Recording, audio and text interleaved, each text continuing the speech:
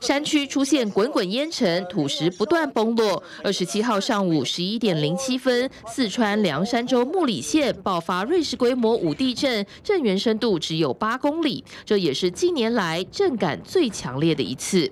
我们那个镇是挨到山的嘛，我们在家里面都跑出来了。我就在家出来的时候，就到处都在，就像那个放那个大炮一样，整个山体都。到处都在炸的嘛，哎呦，太恐怖了！从小到大没没发现过这样的。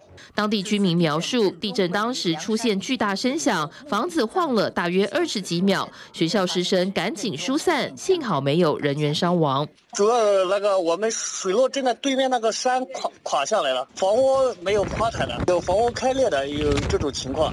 历经地震的房子没垮，反倒是远在安徽铜陵市的这栋民宅，二十七号下午。一点多却无预警坍塌，居民有五人失联，年龄最大的八十几岁。晚上八点二十二分左右，发现了一名被困人员，目前已经送到医院在进行抢救。这场意外导致四人死亡，一人受伤。专家研判，可能是因为安徽连日强降雨掏空民宅地基所导致。受到暴雨影响，这几天安徽合肥不少市区道路都被水淹没，车辆灭顶，灾情相当惨重。它那块是地势低洼，路面上的水也往里面灌，小区中间的水也往里灌。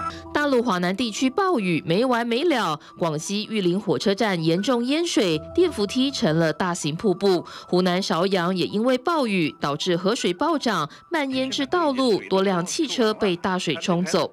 大陆中央气象台警告，本周南方还有两轮强降雨接连来袭，提醒民众小心防范。TVB 新闻综合报道。想看最完整的新闻内容，记得下载 TVBS 新闻网 APP。